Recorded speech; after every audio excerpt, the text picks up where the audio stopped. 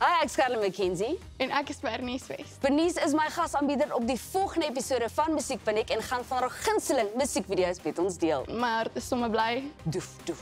Wat kan ons verwag? Ek het 'n paar verrassings staan gesit. Terwyl vier van my grootste fans het uitspook vir 'n lekker paar pryse. Doef, doef. Ja, vier woorde, jy bly ek ken hom nie verder nie. Carla, wat maak jy? Jy het gesê jou hart is bly, so doef, doef. Linker atrium, regter ventricle, aorta, pulmonêre arterie. Ag nee, jy raak nou uit te tegnies.